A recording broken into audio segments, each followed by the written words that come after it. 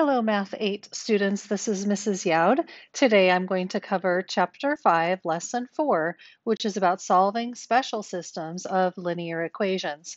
Please have out your spiral notebooks and write this at, at the top of a nice clean page.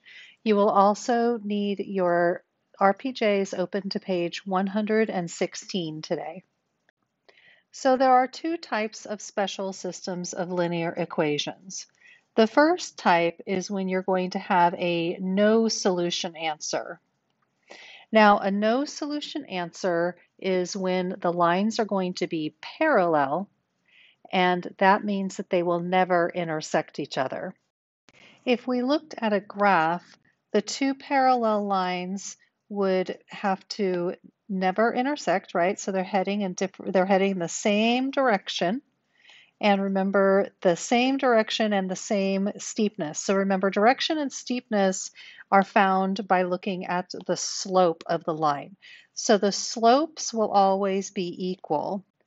But you'll notice that when you have, so the slopes are equal, but notice that the y-intercepts will not be the same because they are not going to be right on top of each other. So uh, the, the y-intercepts will not be equal. So it's easy to see parallel lines on a graph, but how do you see parallel lines on an equation? So here I'm given two equations. y is equal to 2x plus 4 and 3y minus 6x is equal to 9. Now, when I first look at it, this has a 2 in front of the x, and this one has a negative 6 in front of the x. So my first thought is that these are not parallel. However, notice that the second equation is not written in slope-intercept form. So what we need to do is to change it into slope-intercept form by solving for the y. So I need to move my 6x to the other side, and we're going to do that by adding it to both sides. And when we do that, we are left with 3y here and then over here, notice that these two cannot be combined because we this one has an x and this one doesn't. So we need to keep them separate. So it's going to be 6x plus 9. Now we're going to divide out our 3 all the way through.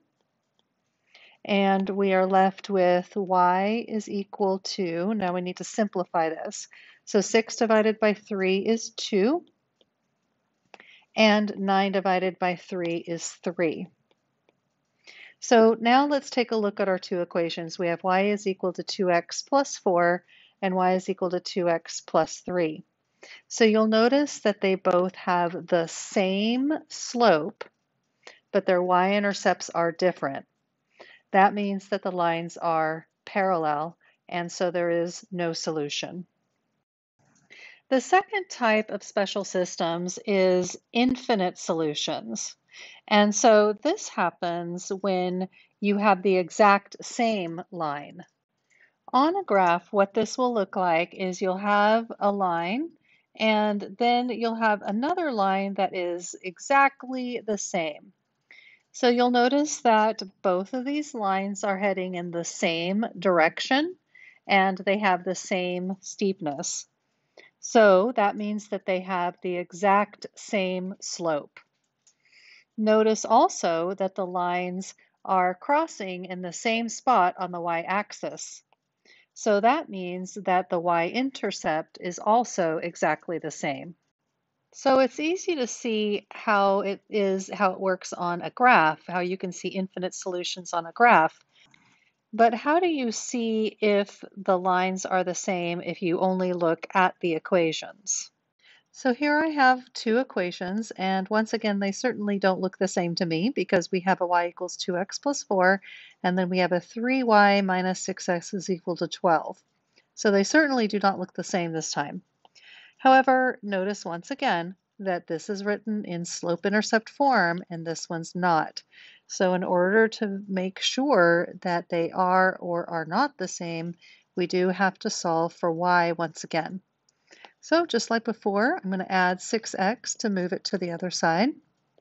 And I'm going to be left with 3y is equal to, once again, these do not connect or do not combine. They're, they're not like terms. So we're going to keep them separate, 6x plus 12. And once again, I'm going to divide by 3 all the way through. And I'm going to be left with y is equal to, now let's simplify 6 divided by 3 is 2. And we're going to simplify 12 divided by 3, which is 4.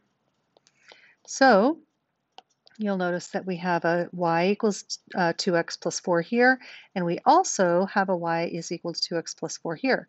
So their slopes are the same, and their y-intercepts are also the same. That means that they are the exact same line, and they have infinite solutions. Please have your journals open to page 116. Let's start with number 2. So I notice that I already have y solved for, for the second equation, but not for the first. So that means I need to change this first equation into slope-intercept form by solving for y. So I'm going to solve for y. So my first step is to move the 3x to the other side. And we do that, remember, by subtracting it off. And you'll notice that it does not combine with the negative 10. So we're going to keep it separate, and I'm going to write it as 4y is equal to, and so these are going to stay separate. We're going to write the x part first because remember I, my goal is to write it as mx plus b, so my x part needs to be written first. Now my next part is to divide out the 4, and remember we need to uh, do that all the way through. And so we're left with y is equal to, so I'm going to simplify negative 3 over 4 becomes, just stays as negative 3 over 4. I'm going to pull my x off of the fraction. And now I need to simplify 10 over 4. So 10 over 4 can divide by 2 on the top and the bottom. And that becomes minus 5 over 2. So if I look at my two equations, we have negative 3 fourths and negative 3 fourths that means that my slopes are equal. We have on our y-intercepts, we have negative 5 halves, and we also have negative 5 halves. That means that my y-intercepts are also equal.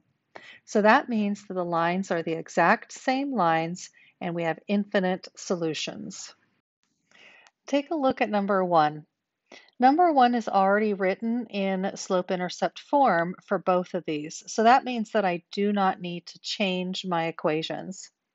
I would like for you to take a look at these two lines. So see if you could figure out if the slopes are equal or not, and if the y-intercepts are equal or not, and decide if they are no solution because they're the they are parallel lines, or if they have infinite solutions because they are the same line.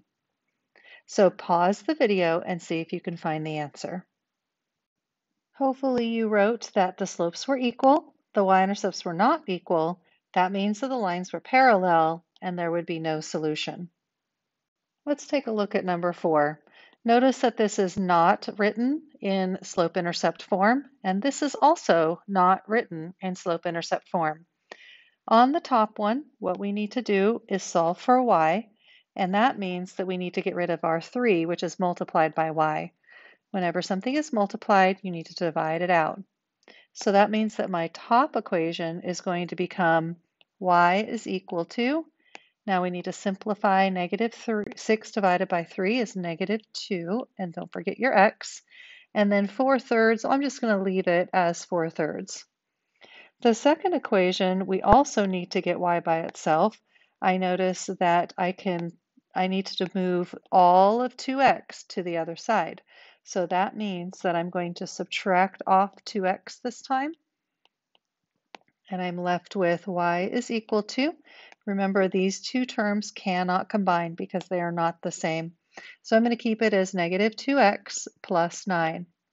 So I notice that my slopes are the same, my y-intercepts are different, and that means that they are parallel, and so there will be no solution.